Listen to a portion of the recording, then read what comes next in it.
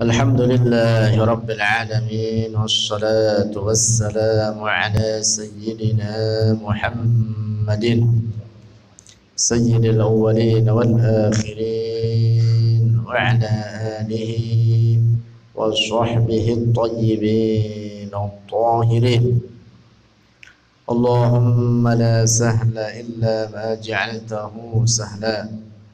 وأنت تجعل الحزن يا حي يا قيوم إذا شئت سهلا اللهم ارزقنا الإخلاص في النية والقول والعمل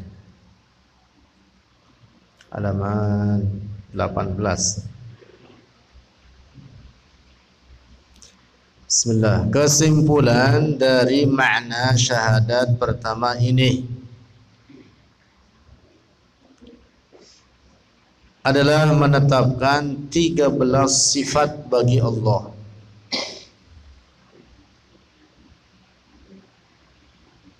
Yang sering terulang penyebutannya di dalam Al-Qur'an dan hadis-hadis Rasulullah sallallahu alaihi wasallam baik dengan lafaz maupun maknanya saja. Penjelasan terkait syahadat pertama ini kesimpulannya di sini. Kewajiban bagi kita mengenal 13 sifat bagi Allah yang sifat ini banyak penyebutannya di dalam an-nusus asy-syar'iyyah dalam Al-Qur'an dan hadis-hadis Rasulullah. Yang oleh karena itu maka 13 sifat ini adalah pokok-pokok sifat Allah. Walaupun tentu bahwa sifat Allah tidak terbatas kepada hanya 13 ini saja. Sifat-sifat Allah tidak terhitung jumlahnya. Tetapi yang 13 ini karena banyak penyebutannya dalam Al-Qur'an maka dia adalah yang sangat pokok di antara sifat-sifat lainnya yang mengetahuinya itu wajib bagi setiap orang mukallaf. Yaitu wujud yaitu al-wujud. Artinya Allah maha ada Al-wahdaniyah artinya bahwa Allah tidak ada sekutu baginya. Sekutu artinya keserupaan. Allah tidak ada kesamaan baginya atau keserupaan baginya dengan suatu apa pun. Sudah kita bahas kemarin Allah bukan benda Sifat-sifat Allah bukan sifat-sifat benda. Allah ada tanpa tempat dan tanpa arah.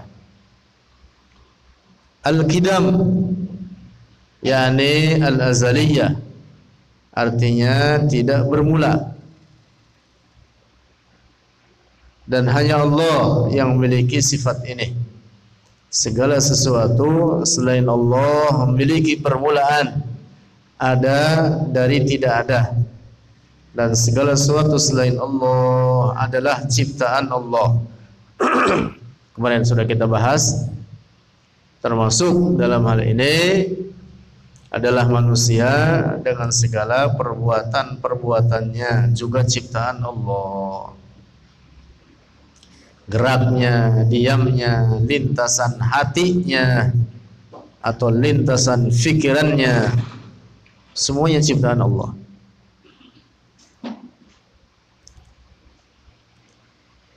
Nah, karena itu yang memiliki sifat qidam dalam makna al-azaliyah dalam makna tiada bermula hanya Allah saja. Segala sesuatu selain Allah baharu. Terus al-baqa artinya tidak berakhir, kekal selamanya tanpa penghabisan. Kemarin sudah kita bahas pula kekalnya selain Allah seperti surga dan neraka berbeda dengan kekalnya Allah. Kekalnya Allah disebut dengan baqaun lidzatihi. Artinya tidak ada yang mengekalkan sifat baqa tersebut baginya. Nah, sementara surga dan neraka keduanya kekal karena dikekalkan oleh Allah. Nah, dengan demikian maka sifat kekal yang lidatihi hanya Allah saja. Adapun selain Allah walaupun kekal tetapi kekalnya disebut dengan biibqaillah karena dibakokkan oleh Allah bagi surga dan neraka misalkan dalam hal ini. Jadi wajib kita berkeyakinan bahwa kehidupan akhirat itu kekal. Orang yang berkeyakinan neraka akan punah telah menyalahi Al-Quran. Karena dalam Al-Quran banyak ayat-ayat penyebutan berulang. Khalidina fiha abada. Baik surga maupun neraka. Ayat tersebut jelas menetapkan bahwa kehidupan surga dan neraka kekal selamanya tanpa penghabisan. Nah, maka saya mengatakan kehidupan akhirat seperti neraka akan punah ini orang dihukumi kafir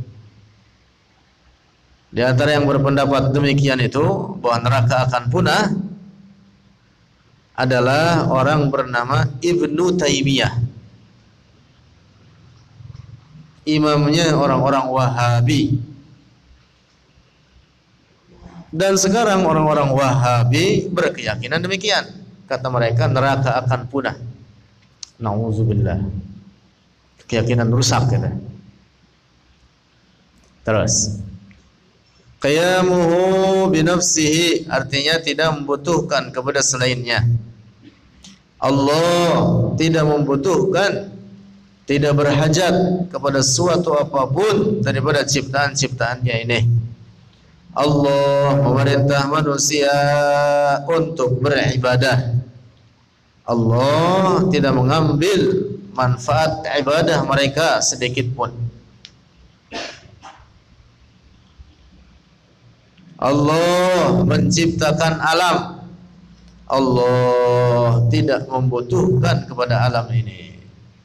Allah menciptakan langit, maka Allah tidak bertempat di langit. Allah yang menciptakan arash, maka Allah tidak bersemayam di atas arash atau duduk di atasnya atau bertempat padanya. Allah tidak membutuhkan kepada sesuatu apa pun dari ciptaan-ciptaannya. Ini dia qiyamuhu binafsi. Al-Qudrah, Maha Kuasa atas segala sesuatu. Yang dimaksud segala sesuatu di sini adalah segala perkara mungkin akli.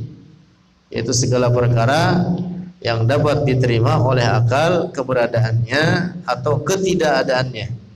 Itu namanya perkara apa? Mungkin akli. Al-iradah berkehendak. Al-ilm mengetahui segala sesuatu serinci-rincinya. Tidak ada yang tersembunyi bagi Allah. As-sam'u Maha mendengar. Al-basaru Maha melihat.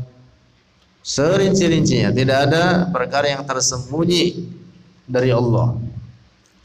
Al-hayat Maha hidup tanpa ruh, tanpa tulang, tanpa daging, tanpa makan, tanpa minum. Tidak seperti sifat hayat pada makhluknya. Al-kalam maha berkalam. Dia Allah Maha memiliki sifat kalam yang bukan huruf, bukan suara dan bukan bahasa. Kalam Allah tidak seperti kalam kita. Al-mukhalafa lil hawadis artinya tidak menyerupai segala apa pun yang baru.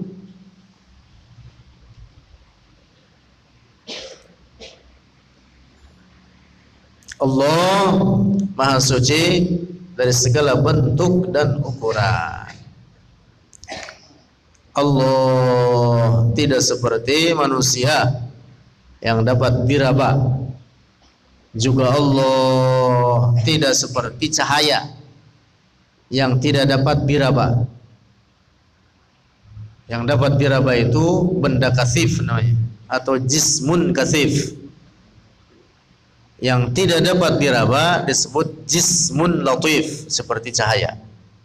Maka ingat-ingat ini ketika berzikir jangan sampai membayangkan Allah sebagai sinar. Nauzubillah.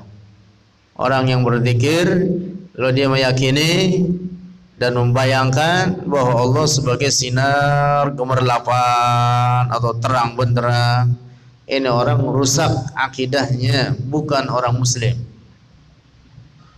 Allah bukan sinar. Allah yang menciptakan sinar. Allah tidak serupa dengan makhluknya. Terus karena sifat-sifat yang 13 ini nah di sini disebut 13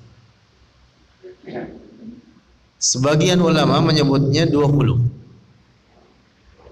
Nah, yang menyebutkan 20 adalah dengan menambahkan yang disebut sifat-sifat ma'nawiyah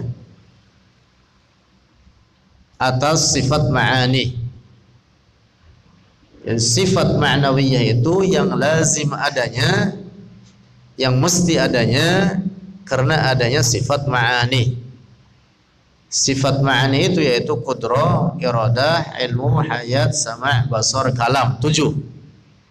Sifat ma'nawiyah kaunuhu qadiran, muridan, aliman, hayyan, sami'an, basiran, mutakalliman. Sama tujuh. Pengulangan dari sifat ma'ani. Jadi dia, dia juga dia dia juga sama. Nah, cuman yang satu disebut ma'ani satu disebut ma'nawiyah. Jadi sifat ma'nawiyah itu adalah sifat yang lazim adanya karena adanya sifat ma'nawiyah. Eh karena adanya sifat ma'ani. Jadi yang 20 sifat itu ada kategorinya atau ada pembagiannya. Ada sifat nafsiyah yaitu wujud, sifat salbiyah yaitu lima, Kidam baqa mukhalafatul hawadis qiyamuhu bi nafsihi. Semua wahdaniyah. Ada sifat ma'ani yaitu kudrah, irada, ilmu, hayat, sama, basar, kalam. Tujuh. Tiga belas itu ada. Nah, yang menyebutkan dua puluh menambahkan sifat apa? Ma'nawiyah. Ya. Karena sifat yang 13 ini sering kali disebutkan dalam teks-teks syariat yaitu dalam Al-Qur'an dan hadis, maka para ulama mengatakan wajib atas setiap mukallaf, artinya wajib aini setiap orang muslim. Atas setiap orang mukallaf. Semua orang wajib untuk mengetahuinya. Dan karena zat Allah adalah azali, artinya tiada bermula maka demikian pula sifat-sifatnya pasti artinya wajib azali zat Allah tanpa permulaan maka sifat-sifat Allah pun tanpa permulaan tanpa penghabisan tidak berkurang tidak bertambah. Tidak tidak berkembang. Tidak berganti dari satu keadaan kepada keadaan yang lain. Karena kebaharuan sifat mengharuskan kebaharuan zat. Kalau zat itu baharu, maka berarti sifat pun baharu. Mustahil bagi Allah demikian itu. Zat Allah tiada bermula.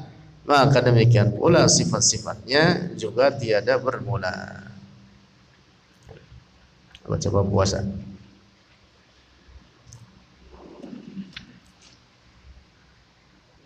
Halaman berapa kemarin ini?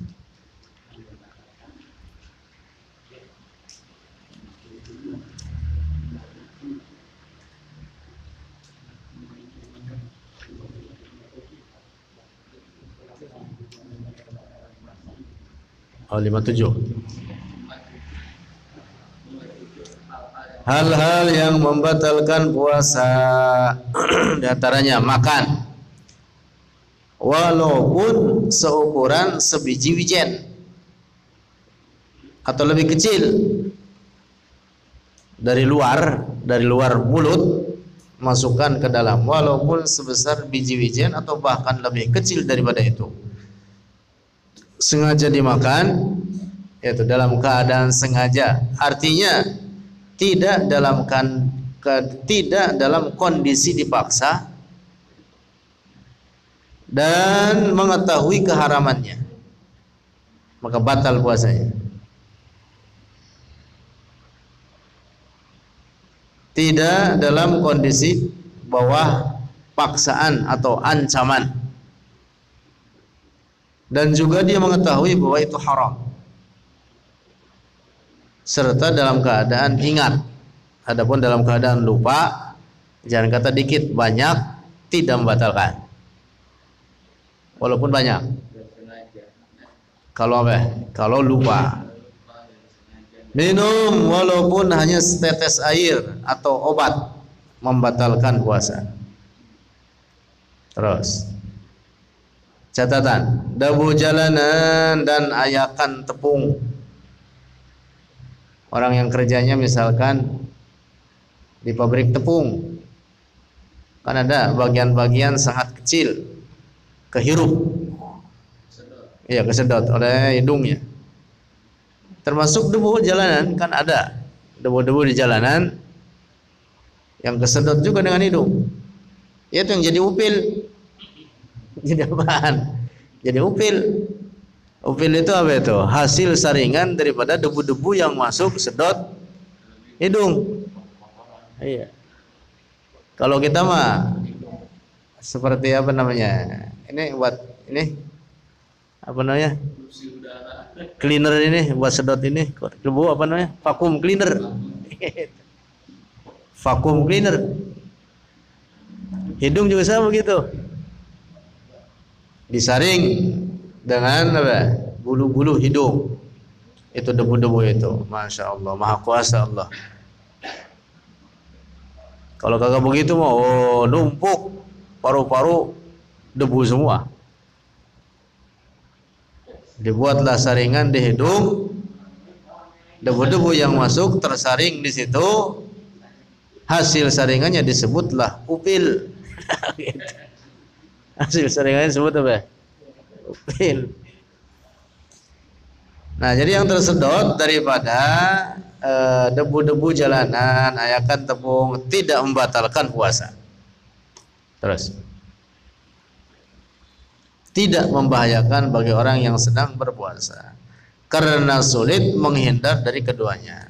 Begitu juga mencicipi rasa makanan tanpa menelan sedikit pun dari makanan yang dicicipi tidak membatalkan puasa.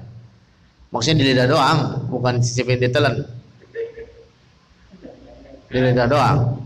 Eh, ini udah digarmin belum? Gitu. Cicipin dengan lidah, kemudian dikeluarkan, tidak membatalkan puasa dengan syarat mulutnya dibersihkan.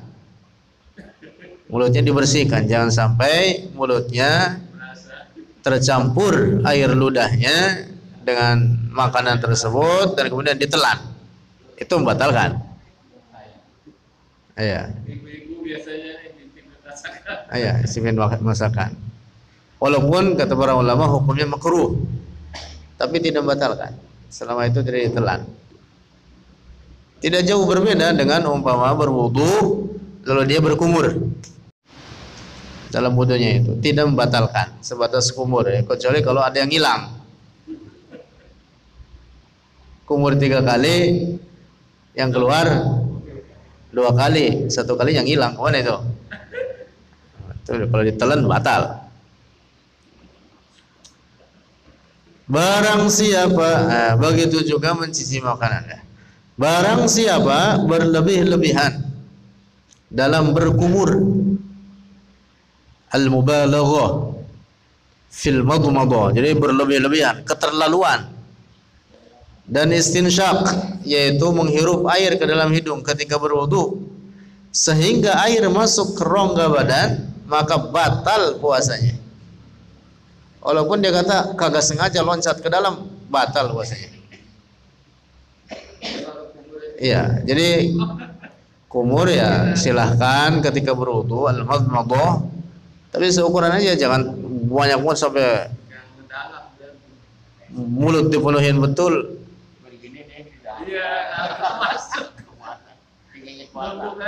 Itu masuk begitu. Itu sih bukan kumur gitu mah kumur mah di mulut aja kumur kumur kumur. Kalau itu mah sampai kepada al halak sampai kepada kerongkongan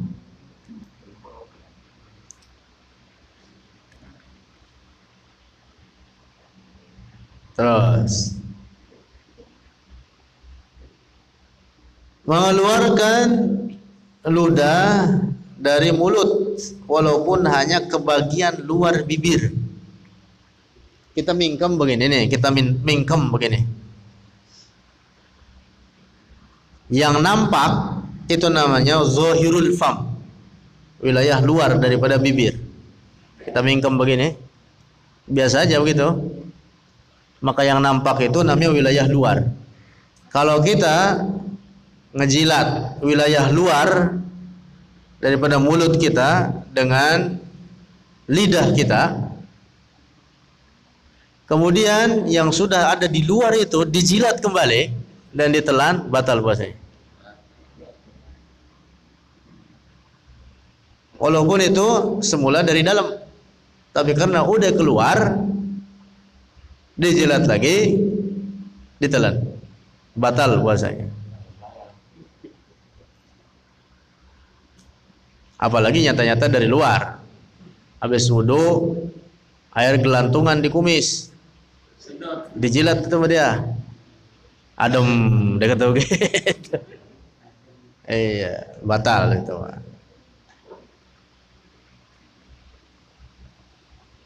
atau air ludah yang nyata-nyata udah keluar. Ya keluar itu termasuk tadi zohirul fam itu udah keluar namanya. Apalagi yang udah loncat keluar. Dipungut lagi ditelan. Batal. Iya. Mana ada reaknya lagi?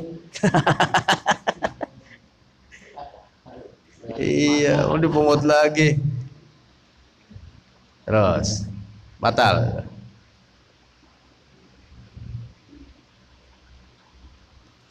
Sementara eh, selama ludah masih berada di dalam di lidah, maksudnya di dalam mulut, wilayah mulut, maka tidak membatalkan puasa jika ditelan.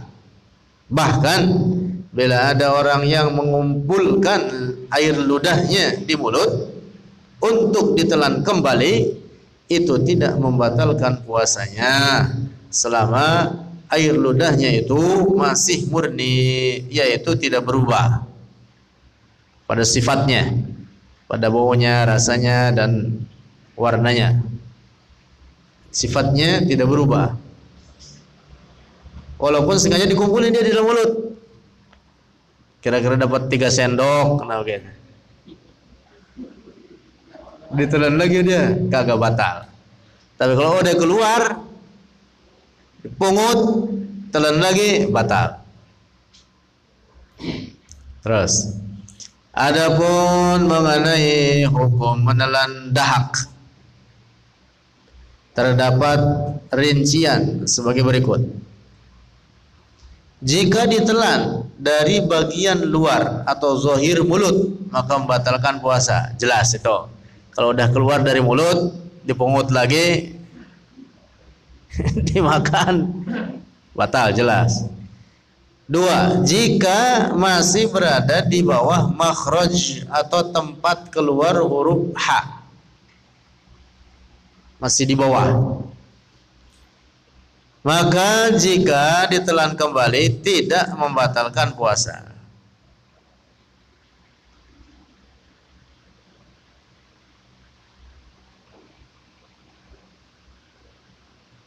Nih, ha itu makhraj ha di sini al-halaq. Nih di sini. Ha, kita nyebut huruf ha di sini ha. Kalau itu apa namanya dahak masih berada di bawahnya di dalam belum sampai ke lidah ditelan lagi tidak membatalkan. Ini hukum dahak ini. Tapi kalau sampai sudah sampai lidah dalam madhab kita madhab syafi'i udah sampai lidah walaupun belum keluar dari mulut. Kemudian ini dahak yang udah sampai ditelan lagi membatalkan puasa. Dalam mazhab kita, mazhab Syafi'i. Khusus dahak ini, air ludah lain. Kalau air ludah walaupun ada di mulut selama belum berubah sengaja dikumpulin sekalipun ditelan lagi tidak membatalkan. Kalau dahak, kalau udah sampai ke lidah dalam mazhab kita mazhab Syafi'i batal. Apalagi kalau udah keluar oleh zahir daripada mulut.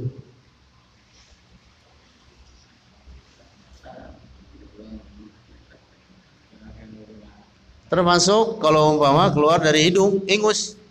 Udah meler, udah keluar. Ada meler udah keluar.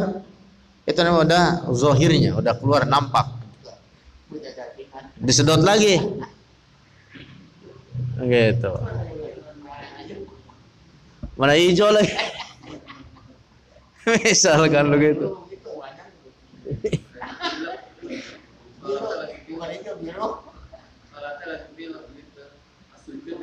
Sama itu juga. Kalau udah keluar, sedot lagi, batalkan. Terus, menurut mazhab, menurut pendapat Imam Abu Hanifah, dahak tidak membatalkan meskipun ditelan kembali setelah berada di lidah. Nih, mazhab Abu Hanifah atau mazhab Hanafi. Lain dengan mazhab kita, mazhab Syafi'i. Tapi umpama ini dipakai nggak apa-apa bahwa ada pendapat dalam mazhab Hanafi dahak walaupun udah sampai ke lidah ditelan lagi tidak membatalkan puasa. Itu namanya kan udah lewat makhraj ha. Udah keluar daripada makhraj ha, udah sampai kepada lidah. Yang penting belum keluar dari mulut. Ya kalau udah keluar dari mulut kebangetan dipungut juga. Batal mah.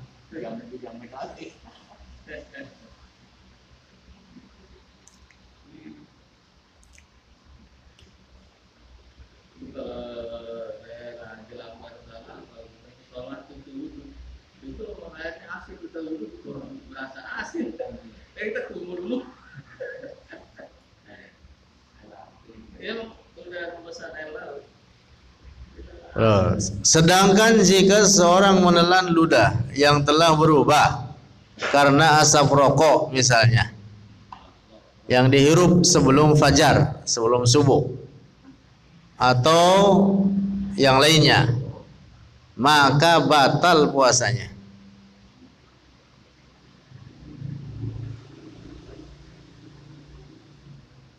Sebelum subuh sebelum subuh sebelum imsak dah dia ngerokok begitu. Terus begitu masuk subuh dia belum bersihin mulutnya. Antar habis subuh masih dirasain sama dia. Aduh ini rasanya masih ada nih Samsu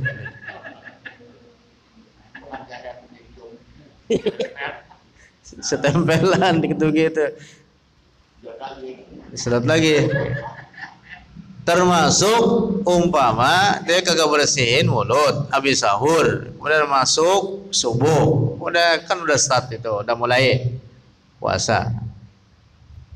Tahu-tahu masih berasa sama dia di giginya. Nyelip. Fried chicken. Iya ayam apa dagingnya apa tulangnya nyangkut situ ditelan lagi dia Kata sayang-sayang ini ke sahur. Batal. Batal. Terus.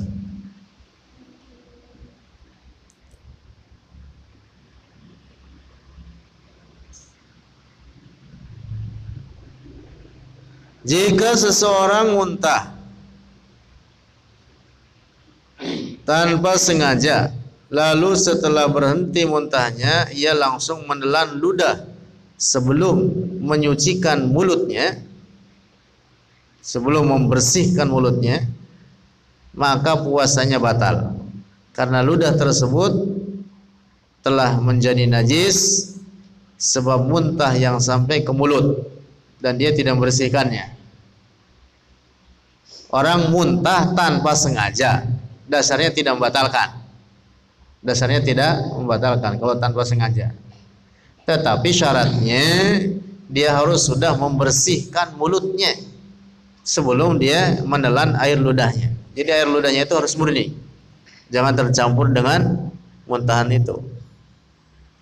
Adapun kalau dia muntahnya sengaja dibikin oleh dia. Misalkan sengaja mulutnya dikorek-korek biar dia muntah iya disogok-sogok ini orang batal puasanya. Ini orang batal puasanya.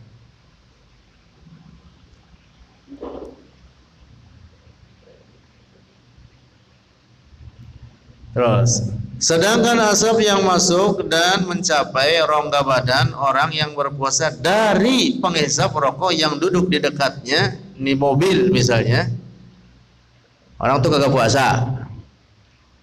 Kita puasa. Terus asapnya mampir dah tuh ke hidung kita. Wah. Kalau Pak Yasin lagi puasa begitu terus hidungnya kemampiran jisamsu dari orang lain. Wadah. Ngiler itu.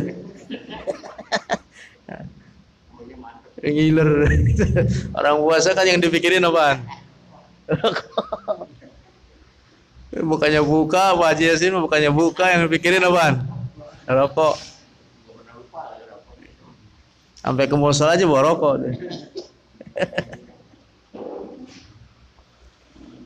Nah asap rokok dari orang lain yang terhirup oleh orang sedang berpuasa yang ada di dekatnya maka itu tidak membatalkan puasanya.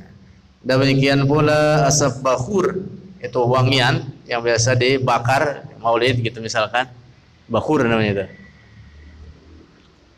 dan mencium aroma minyak wangi tidaklah membatalkan puasa. Termasuk menghirup fix. Fix. Balsam. Itu hirup sama dia begini. Tidak membatalkan. Tetapi makruh hukumnya. Kecuali kalau balsamnya ditelan udah. kalau balsamnya ditelan. Kan ada juga orang doyan balsam. Minyak angin biasanya tuh taruh di, di lidahnya gitu. Berbeda halnya dengan asap rokok bagi orang yang menghisapnya.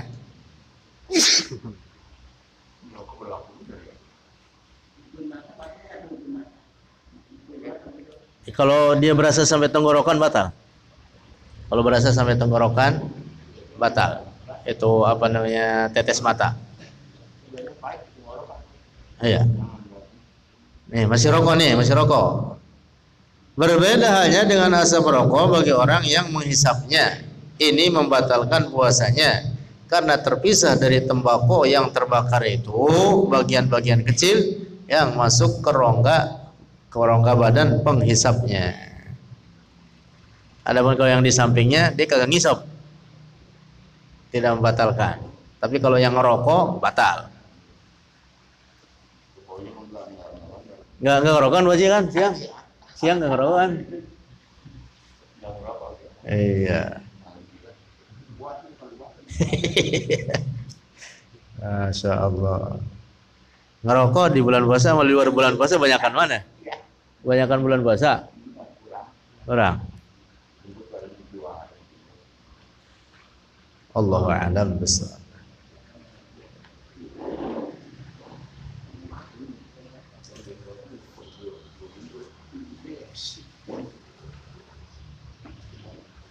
استغفر الله العظيم استغفر الله العظيم استغفر الله العظيم. الحمد لله رب العالمين والصلاة والسلام على سيدنا محمد في الأولين والآخرين على آله وصحبه الطيبين الطاهرين. اللهم انفعنا بما علمتنا وعلمنا ما ينفعنا وارزقنا علوما تنفعنا وزدنا علما. اللهم وفقنا لما تحبه وترضى. اللهم حسن أعمالنا واختم بالصالحات أعمالنا. ربنا آتنا في الدنيا حسنة وفي الآخرة حسنة وقنا عذاب النار. وصلى الله على سيدنا ومولانا محمد. الحمد لله رب العالمين.